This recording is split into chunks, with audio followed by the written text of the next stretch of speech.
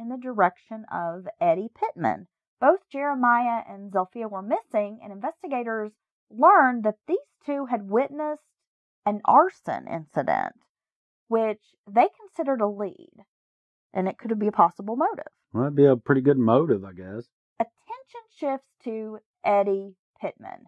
Now, the story is that Jeremiah and Zilphia pulled up to this trailer where Eddie Pittman was staying with his girlfriend, a woman named Rosemary Gehring. They drive up. He comes outside and tells them, Y'all need to get the hell out of here. Leave.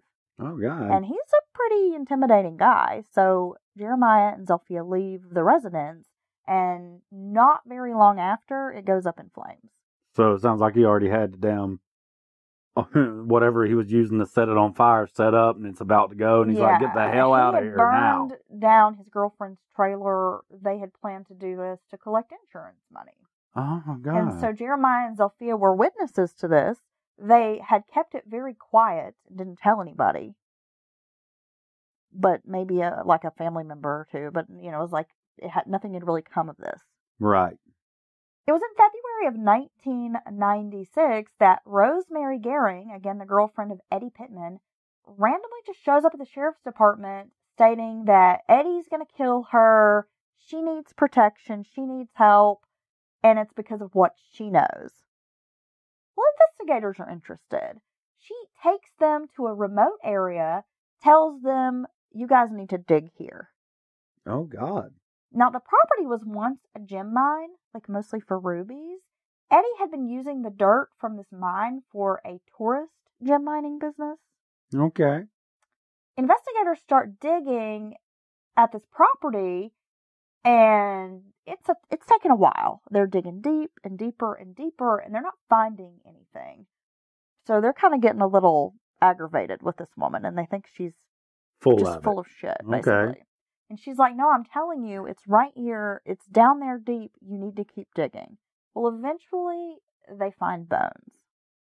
Jeremiah Pittman's remains were found exactly where Rosemary had directed them to dig. Well, damn. Gehring confesses to witnessing a confrontation between Eddie and his son. Now, at some point during this heated argument, Eddie Pittman picked up a hammer, hit his son with it, killing the 18 year old. The couple then takes Jeremiah's truck and they park it off the interstate to appear as though he's abandoned it. Then the couple takes Jeremiah's body to this ruby mine that they had leased. They dig this grave, toss in the boy's body, and cover him with lime. The cause of death is a blunt force injury, which was the same way that Zilphia was killed. Well, my God. Maybe if the cops had swung around there and had a conversation with Eddie and got a chance to talk to the damn girlfriend and really give them a hard line of questioning about Jeremiah's where he's at or has anything happened to him, they might have figured all this out then. Investigators believe these two murders are tied together, but now, you know, finding evidence is the crucial part. Eddie is arrested for the murder of his son, and when he's served with the warrant, he asks, Whose murder? when they tell him we've got this warrant for murder, we're going to arrest you, and he asks whose murder, that really sends investigators into a frenzy because they think he means Zilphia. yeah, which one? Yeah, which which murder are you talking about here?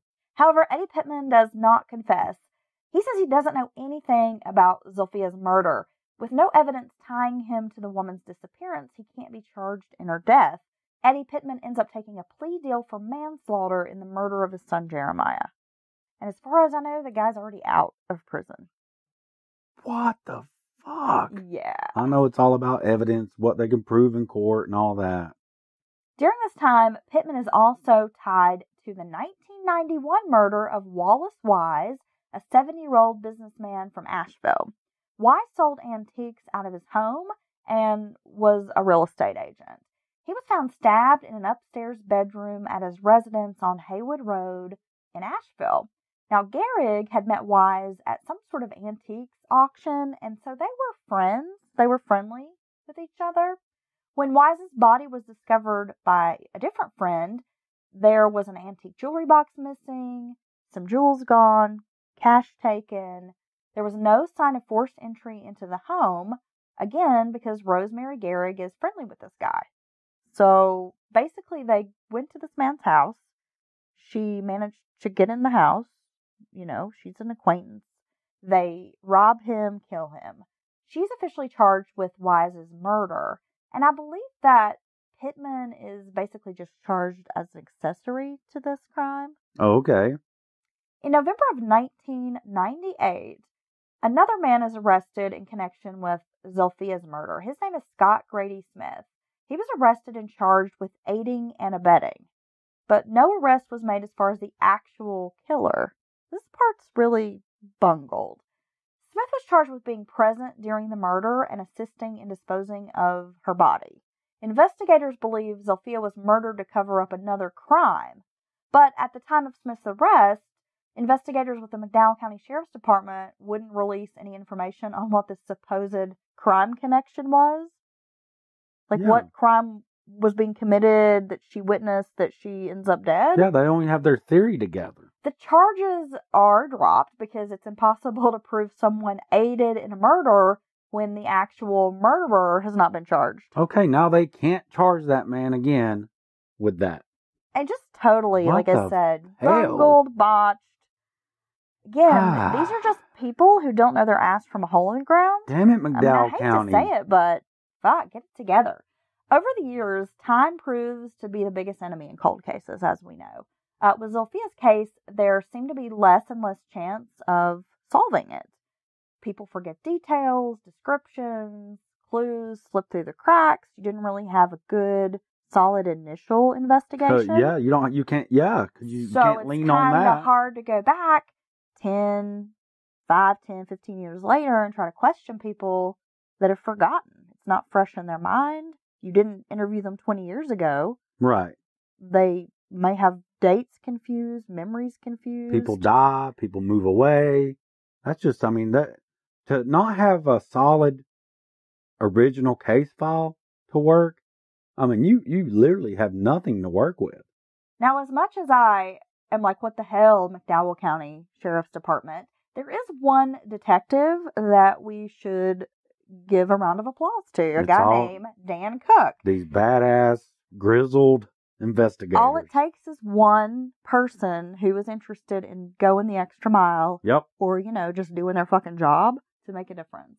So after two years, um, this is after Zilphia's remains were found, you know, two years later, Detective Dan Cook with the McDowell Sheriff's Department begins sort of periodically reviewing the case file, just hoping that something will jump out at him. Around the time Smith's charges were dropped in 1998, Detective Cook found two names written on a small piece of paper that were just sort of stuffed in the case file. The name was Robin Whitted and Robert. So didn't even have a last name. Now, Whitted has been a possible suspect, but the initial investigation had paid little attention or done much following up with this man. Like someone had given this name, it had been written down, but you know, he wasn't interviewed, no one had talked to him. yeah. It's just fucked up, Oh right? my god. the names were given by an informant too, and this may be another reason why it was partially dismissed. Yeah, they weren't believing them or think they're full of shit. This informant's name is Ronald. That's all I know. That's a lot of R's.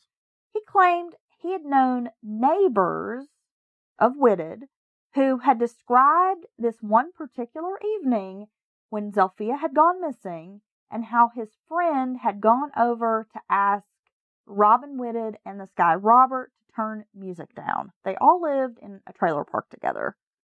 The two men at this time acted pretty strangely, and they were later seen carrying something out of the house. Like they thought maybe it was a rolled up rug or piece of carpet. Denise Coleman is the neighbor. She confronted the men about the music because she explained that, you know, she was basically getting high on meth and she didn't want the cops up there. So you got to turn your music down because we're at my house getting fucked up and we don't need cops up here. Okay, that's reasonable, besides doing the math. she says that, you know, when she goes to confront them about the music, this guy Robin said they had picked up a girl from a truck stop, Zilphia Lowery, that they had sex with her, and that she was in the house throwing up, that the guy Robert was in there trying to clean up this mess. So he's just like telling her the story that's probably a little bit too much information. She's high as fuck, so you know. and then later she says she sees these men carrying out what looked like a rolled up rug out of the house. That's almost like a cliche, isn't it? well, I'm just imagining, you know, I go knock on the neighbor's door and I'm just like, do you mind turning your music down? yeah. And then they start telling me a story about, well, we just picked up this girl at this truck stop and we're in here, we're in here banging her, but she threw up and some of my buddies in there cleaning up the puke. I mean, isn't that just like a little bit too much to offer up? Yeah. But then again, maybe not. I don't know because she's telling them y'all need to turn the music down because I'm getting high on meth. Trying to smoke my meth over here. okay, anyway, Hmm. enough Jerry Springer. Detectives track down this mobile home. And now you got to remember, this is years later.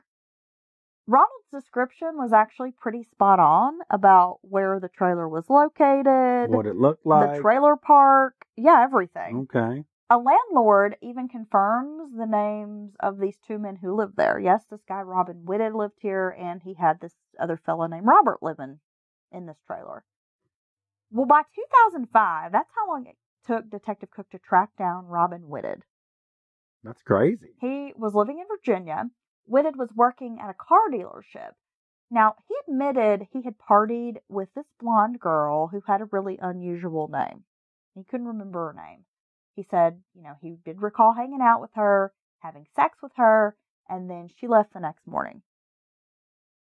Cook interviewed Whitted several times. Now, during these interviews, he began giving conflicting stories, which was a huge red flag for investigators. I mean, anytime a person of interest starts switching up their story, this is never a good sign. No, it's because you're fucking lie. Well, in some ways, you got to think, okay, well, if something happened 20 years ago and someone asked you about it, your details might be a little foggy. There might be something that you remember later. Like, Right. oh, well, yeah, this or Small, minor details. But your story as a whole is not going to change no, drastically. no, minor stuff may change, but not the complete, not the timeline or not the what you did or who you did it with. That's So not going to change. After a few interviews, eventually Whitted is going to crack under pressure.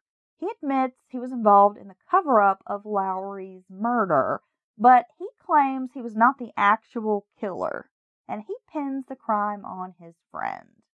So let's talk about this guy, Robert Dean Taylor.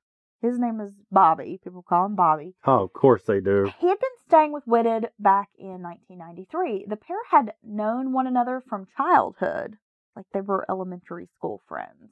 Whitted happened to be visiting his family in Virginia when he bumped into Bobby Taylor. He invited Taylor to come back to North Carolina with him. See, Whitted was recently separated from his wife, and I guess he thought having his childhood buddy around would be good for him. They were going to party, chase women, drink, hang out, just Alright. live it up. Yeah, Two bachelors.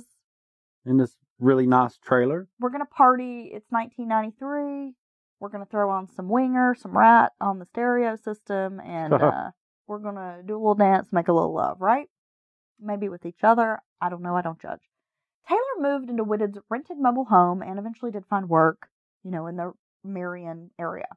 On July 27th, 1993, Whitted claimed he had come home from work around 4:30 p.m. Taylor was waiting for him at their residence, and he had a copy of Lowery's phone number.